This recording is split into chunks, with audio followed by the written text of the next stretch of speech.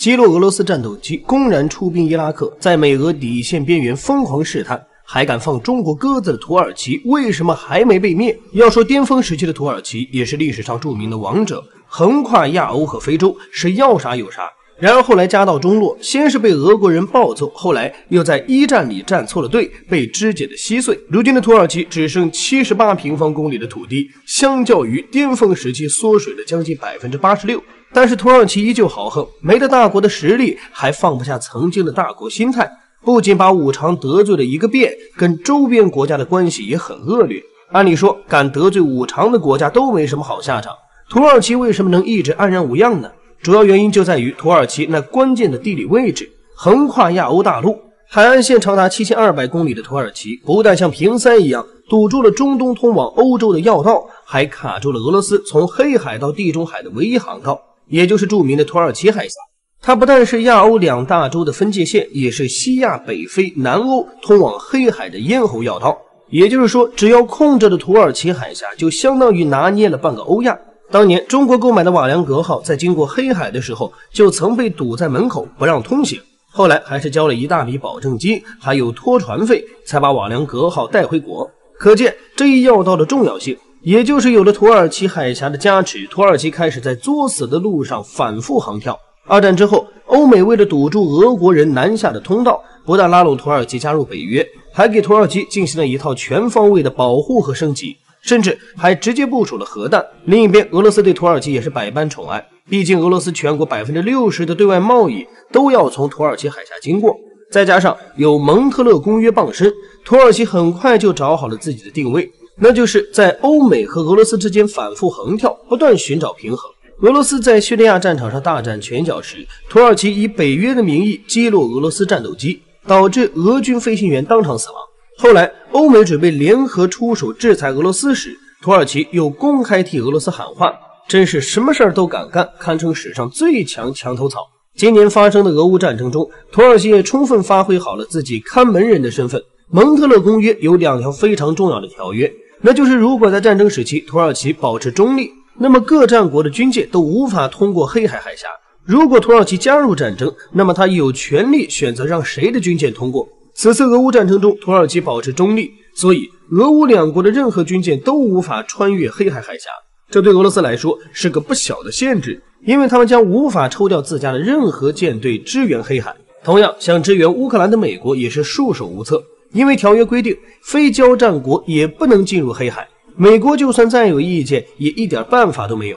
因为土耳其确确实实在按规章制度办事，拿捏得非常到位。然而，土耳其的骚操作不止于此。为什么说土耳其是国中哈士奇？一愤怒就犯二的属性，让他们没少闹笑话。二零一五年，土耳其击落一架俄罗斯战斗机，导致俄军一飞行员牺牲。自知理亏的土耳其光速道歉。结果转头又把俄罗斯的搜救机也给击落了，这下俄罗斯人直接怒了，把土耳其驻俄大使馆砸了个干干净净。看到自家大使馆被砸，土耳其人也不愿意了，浩浩荡荡的要去砸俄罗斯大使馆。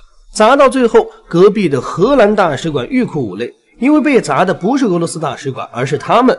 愤怒的土耳其把荷兰和俄罗斯的国旗搞混了，别说，还真挺容易弄错的。于是无辜的荷兰人也加入战场，指责土耳其人。气不过的土耳其人又找来荷兰国旗当街焚烧，结果烧到最后才发现这是法国国旗。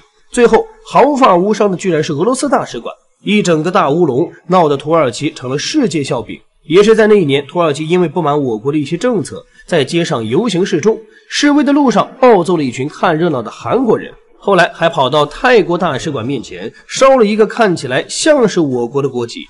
看来土耳其人有必要好好学习一下各国国籍了，不然整天误伤友军也不是个事儿。然而土耳其的操作又何止这一件呢？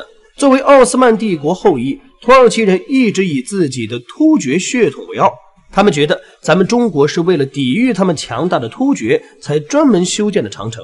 所以土耳其的教科书中有这么一句话：我们伟大的祖先迫使伟大的中国修建了伟大的长城。为了证明自己血统纯正。土耳其也在去年找了专业的基因检测公司做了测试，结果让人大跌眼镜。土耳其人不但不是突厥后裔，反而跟希腊人同出一脉，这让当了一辈子突厥人的土耳其接受不了了，因为他们跟希腊之间一直因为一些原因闹得水火不容。这都闹成世仇了，居然都是自家人，气得土耳其人联名举报这家检测公司，到处宣传他们不专业。由此可见其二哈属性。不过玩归玩，闹归闹，土耳其的实力还是不容小觑的。土耳其把五常得罪了一个遍，为什么还没被灭？因为美国拿土耳其是一点办法都没有。为什么这么说？美国对不听话的国家基本上都是三种办法：一、经济收割；二、内部政变；三、直接出兵。但是这三招对土耳其来说通通无效，因为从政治角度来说，美国已经把他能用的办法全都用过了。结果不但失败，反而还帮土耳其总统埃尔多安借政变的名义，把国内的反对势力消除得一干二净。在军事上，美国对土耳其也不敢轻举妄动，因为土耳其的地理位置非常重要，土耳其海峡更是世界重要的交通要道，世界各个强国都对这一地区非常敏感，美国自然不敢对其发动明面攻击。而且当初为了拉拢土耳其，美国还给他们送了几十枚 B 六十一核弹。如果美国把土耳其逼急了，后果也不是美国能承受的。最后，经济方面，美国对其他国家惯用的割韭菜大法对土耳其也没什么用，因为土耳其早就借助降息对抗加息。现在土耳其的通胀率已经达到百分之八十，美国要是加息，土耳其就会率先降息，伤敌一千自损八百。这种狠操作，美国再想割韭菜也下不去手了。事实上，除了美国，中俄欧对土耳其也是没有办法。俄罗斯全国百分之六十的对外贸易都要从土耳其海峡经过。如果俄罗斯出手制裁土耳其，土耳其只要封锁海峡，就能让俄罗斯在黑海的航母舰队和经济贸易遭受重创。对付欧洲就更简单了，只要把叙利亚难民放过去，就能让欧洲国家很长时间缓不过来。不得不说，在当今的国际形势中，土耳其依旧能过得顺风顺水，跟他高超的博弈技巧和手段分不开关系。作为最强墙头草。土耳其非常知道该在什么时间打什么牌，才能让自己的利益最大化。一个中等国家能在大国之间反复横跳，不但什么代价都没付出，还获得不少好处，提高自己在国际上的话语权。这样的博弈堪称教科书范本了。而且，土耳其每得罪一个国家，背后都是为另一个五常国家冲锋陷阵，他总能在合适的时机秀一把操作。也许在未来全球格局中，土耳其会成为最大的变量，也说不定。我是万物，我们下期视频不见不散。